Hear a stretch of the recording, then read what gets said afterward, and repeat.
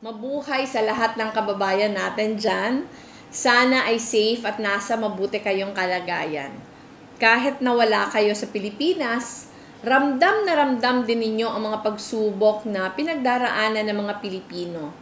Marami sa inyo inaalala palagi ang mga mahal sa buhay, pamilya at kaibigang naiwan dito sa atin. Diyan man kayo nakatira, iniisip nyo pa rin ang kinabukasan ng Pilipinas dahil Pilipinas pa rin ang inyong unang tahanan.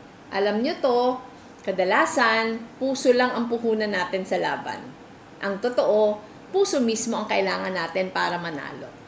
Ang mahalagang gawain natin ngayon, kausapin ang kayang kausapin, makinig, maging bukas, magmalasakit, magtatagumpay tayo hindi sa pakikipagtalo kundi sa pag-ibig. Gaya nga na lagi ko sinasabi, madaling makipagdebate, mas radikal ang magmahal. Uh, sa huli, tayo mismo yung pinakamabisang daluyan ng mensahe natin dahil iisa lang naman ang pangarap na nagbibigay sa atin. An honest, competent, compassionate kind of leadership. Mahaba pa ang laban pero basta sama-sama tayo na nakatindig at humahakbang abot kamay ang tagumpay.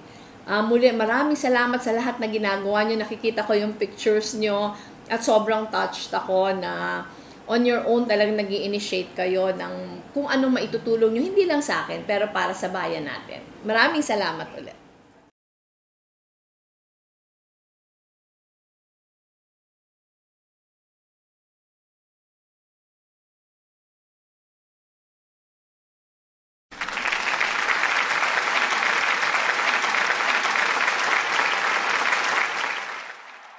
Hello po sa lahat ng mga kamping natin mula sa Switzerland at sa lahat ng supporters at volunteers natin from Germany. Maraming maraming salamat sa suporta ninyo para kay Mama at sa lahat ng ginagawa ninyo para sa laban natin ito. Sana safe at nasa mabuting kalagayan kayo, nasaan mang bahagi kayo ng mundo. Ang hiling lang po namin sa inyo, ilabas ang mensahe natin at tuloy lang sa pagtulong ninyo sa mga nangangailangan. Malaking bagay po na sa laban natin kung kakausapin ninyo ang mga kakilala, mga kaibigan, at mga kamag-anak ninyo sa abroad man o dito sa Pilipinas para kumbinsihin silang sumuporta sa ating pagkilos. Pero lagi nating tandaan na maging mahinahon sa pakikipag-usap at matuto rin tayong makinig. Palawakin pa natin ang saklaw ng naaabot natin at ipakita sa bawat pagkakataon ang uri ng pag-ibig na gusto nating iparamdam sa bawat Pilipino. Pag-ibig na nagmamalasakit at nag-aaruga na walang iniiwan at tinatalikuran. Kasama kayo, tiwala po akong abot kamay natin ang pangarap natin para sa ating pamilya at sa buong bansa.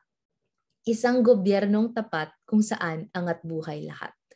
Muli, maraming salamat, mag-iingat po kayo dyan at mabuhay kayong lahat.